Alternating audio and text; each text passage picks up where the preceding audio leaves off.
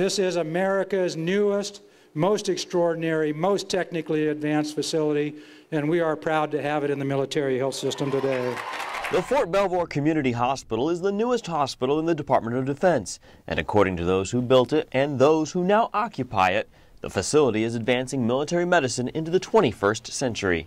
This hospital is visually stunning inside and out, but more importantly, it leverages cutting-edge technology and evidence-based design features to enhance clinical operations, safety and satisfaction for both our staff and our patients. It really is a signature building for military health in general. It's the kind of facility and I think the kind of healing place that our soldiers and families really deserve. The new hospital and its newly formed joint military staff has brought online 25 new medical capabilities not previously available in the old DeWitt Army Hospital.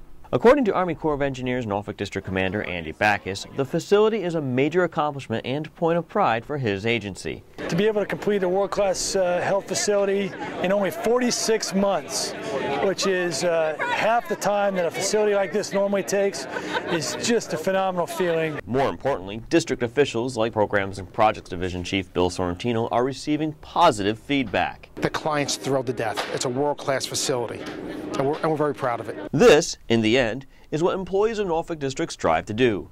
Build world-class facilities that meet their customers' needs and expectations. This is an extremely high mark on the wall right here uh, in terms of what right looks like, in terms of how you do things, and then what you deliver in the end. It doesn't get any better than this. From Fort Belvoir, Virginia, Patrick Bloodgood.